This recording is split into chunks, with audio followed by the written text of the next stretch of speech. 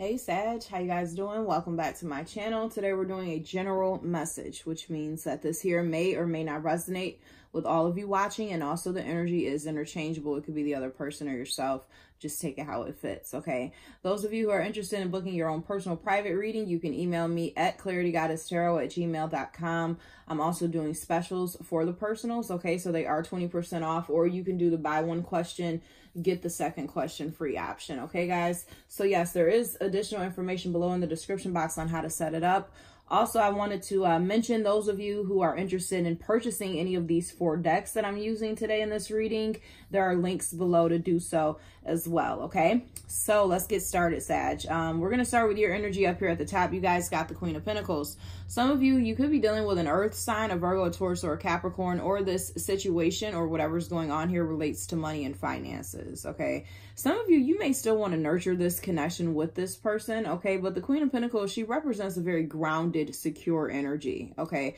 Some of you, again, this could, uh, you know, revolve around work or, you know, some sort of financial um, circumstances here. We've also got the Six of Swords. Some of you, you're moving on from something. It could be a job, okay, with the Six of Swords or leaving something behind here because you're disappointed about something with the nine of cups reversed you could be dealing with a water sign a cancer a scorpio or a pisces you feel a little bit let, let down here or just dissatisfied okay so maybe you're not getting what you want or you got your hopes up or your expectations up and it's just not what you expected okay? Excuse me we've also got the eight of pentacles reversed. Yeah some of you again this is about money or work or you just not willing to put forth the effort anymore okay and the upright the eight of pentacles is about very diligent effort, time, energy, okay, and um, putting the work in. But some of you, you don't want to do that now, okay? We've got the Five of Wands here as well, which does represent conflict, competition, other people being involved. This could be about family or friends is also what I'm seeing.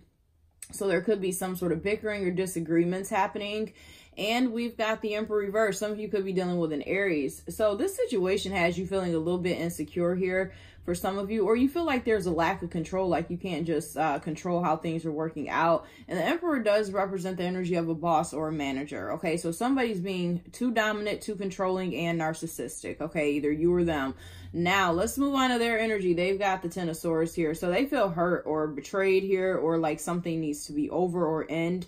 It could be from a... Uh, another relationship or something else going on in their life.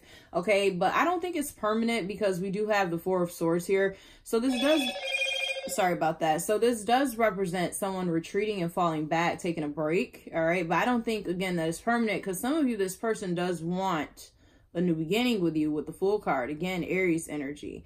Okay, taking a leap of faith. They may be acting very carefree, like they don't care, they're not affected by this. Okay, but um in all reality, you know, they may be taking a break now, but they're going to come back, okay? Because we do have the Knight of Cups, which represents somebody coming forward with some sort of offer or an apology, communication, okay?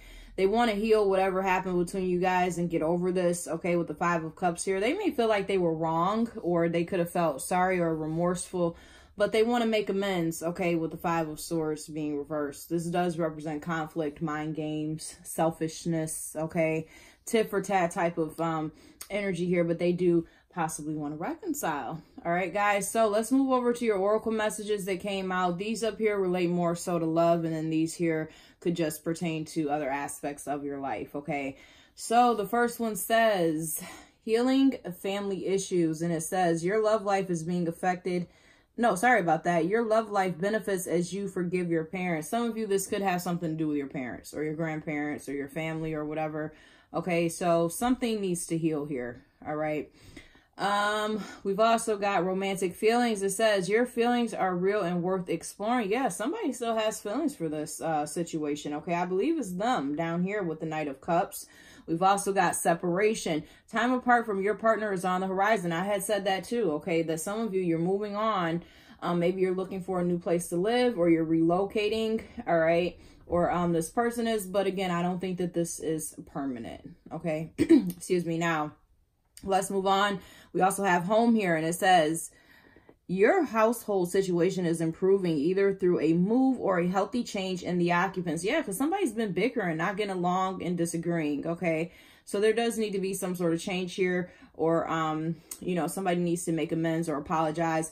We've also got inner wisdom and it says, you know what to do. Trust your inner wisdom and take appropriate action without delay. Okay, so some of you, that action is again maybe for you to move on here, okay, or at least to kind of fall back from this situation now at the moment. All right, we've also got past life. This situation involves your past life memories. Yeah, so somebody, this is about your childhood or someone that you've known for a long time or again someone that you have history with from your past okay or maybe a literal you know past life connection from another lifetime all right so i hope that all made sense sag Again, if you guys are interested in booking your own personal reading, you can email me at claritygoddesstarot at gmail.com. They're 20% off, okay? And if you'd like to uh, purchase any of these decks here, the links are down in the description box as well. All right, thank you guys. Take care.